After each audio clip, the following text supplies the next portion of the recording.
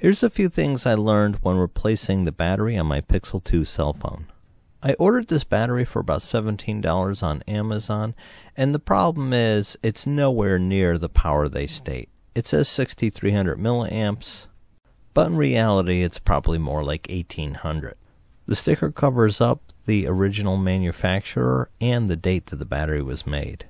Even though I was very careful when I removed the screen to get at the battery, the LCD underneath the screen ended up cracking.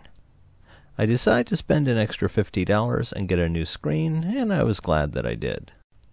The next thing I did is I watched this video from New Power 99, which is a really good video. In this video, I would say they have probably already taken the screen off and there's no adhesive, and it made it easier to film the video. What happened to me is the clear part came off okay, but the LCD, which is as thin as a piece of paper, cracked underneath. But on most newer phones that don't have any bezels and have speakers mounted on the top and bottom, you wouldn't have to worry about this. You wouldn't have to go in nearly as far with the cutting tool. First, an overview of what we have. This is the Spigen case. So this has a little kickstand it goes over the outside, but this is what gives it the durability. This rubber, silicone stuff or whatever, these corners and things like that. So you got a message. So the battery was so weak, the, the replacement, that I had to get this battery case for about $30. This is the original battery came with the phone. And if I zoom in a little bit, you can see the date on it 2017 and, and that sort of thing, and, and the general information, the barcode and whatever.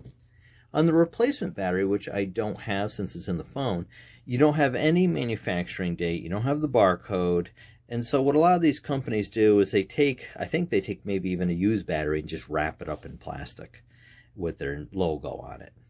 Now, in the ad, it shows 6800 milliamps, but then if we look in the box that it came in, what does it say? 2800. But even if it was 2800, I thought, well, I don't care if it's not 6800, but the problem is it's not even 2800. It's probably 1800. A lot of people do what I did. They're able to get the clear part off. Now remember, this is not the screen protector, this is the screen itself. Okay, so the important thing to remember is one, the metal is only to be used on the ends, never on the sides. Because this phone has bezels, most phones are edge to edge. This phone has bezels, so that means there's a speaker here. So it means when you cut, you have to go deeper. You have to go like this. But you just have to be really careful you don't go any further and you'll get into this area and damage that. On the top half of the screen, it's pretty easy. Again, you're going to go here and, and there is more room, like that.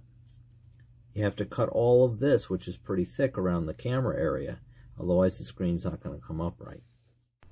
Here's the receipt for the screen. Great part.